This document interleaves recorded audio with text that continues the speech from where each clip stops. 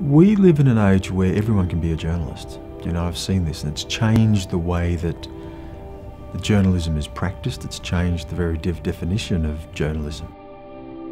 Yeah, I'm Stan Grant, Professor of Global Affairs at Griffith University, a long-time journalist, 30 plus years, and author. I've just started this role as Professor of Global Affairs, and you know, it comes at a really critical time. Anyone with a blog and a mobile phone can call themselves a journalist. You journalism practice world leads to royal commissions. It topples governments. You know, it's a dangerous weapon in the wrong hands. Journalism really matters, but we're living in an age where the business of journalism is trivialising the practice of journalism.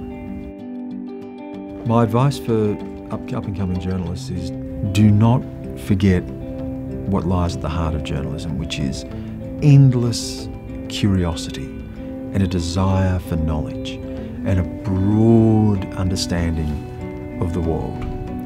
I think what I bring to something like this, if I look at my own sort of background, is that I've lived what I've read about. That's, that's, that's the main thing for me. There's something I want to bring home to students here is that what you learn has real life consequences.